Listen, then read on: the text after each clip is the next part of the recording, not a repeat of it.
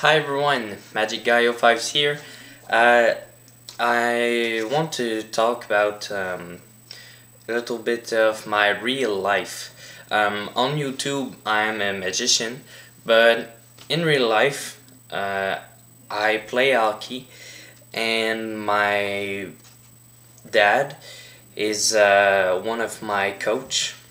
So uh, he don't want me to um, like eat uh, things that are not good.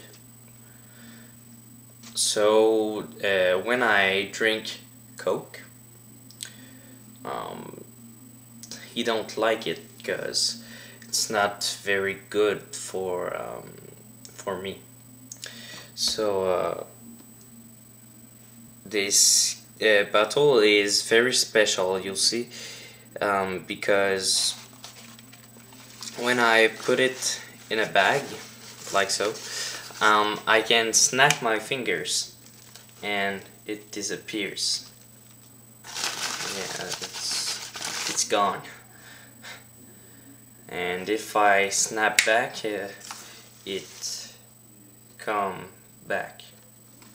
So if my dad comes and there's no uh, bottle left.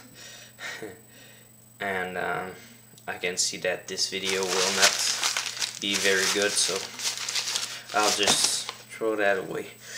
Um, sorry I, I know it was a bad trick but see you next time